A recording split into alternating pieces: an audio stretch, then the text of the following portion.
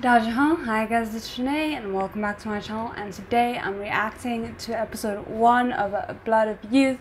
It's going to be a first impressions and I am super excited for it. I've heard a lot of good things about it so I don't know what to expect. I haven't checked out the summary at all. I've just heard things and I'm like, okay, I need to see if this is as good as everyone is making it out to be. So that's what we're going to be doing today. So without further ado, let's get into it.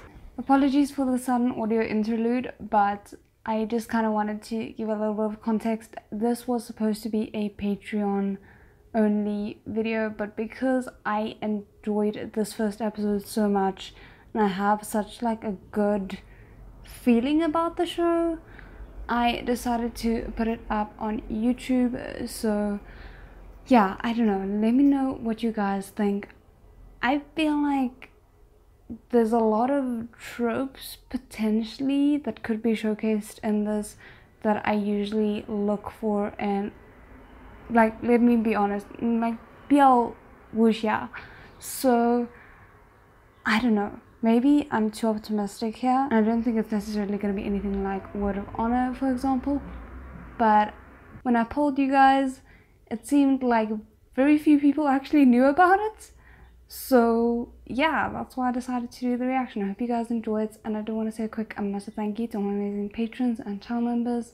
If you're interested in joining either of those for early access and uncut reactions, the links for it will be in the description along with my social media and my PO box. And if you want to subscribe, that's always greatly appreciated. But now, finally, let's get into the actual video. 后国祚元年二百余年，至明德第一朝，国力强盛，四方来拜。Mm.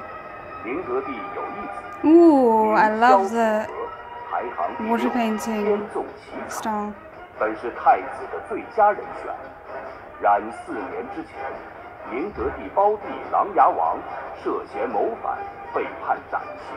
Oh 萧 damn. 楚河当庭王子争斗。 Guys, issues. Damn it. Damn it, damn it, damn it, damn it, damn it. I like I had heard very good things about it, but just kind of like something about it I, I was thinking okay it doesn't seem like it's gonna quite be my kind of thing because it's gonna be like a lot of probable like fighting and maybe just a little bit too like politic heavy and things like this. But this is the same kind of joy that I got when I first watched the first episode of Word of Honor. Obviously, this isn't BL, which would have been a bonus, but I still am really enjoying this first episode. It has the humor that I enjoy. It has like already the plot is very clear, at least it feels like it at the moment, which is nice because it kind of gives me a good idea of what I'm going into. And overall, I adore the characters already, and I'm really intrigued to learn more about each and every one of them. Which, just uh, if if you get me with the characters, you could probably pull me through an entire story without me caring because characters are what I enjoy the most in a show.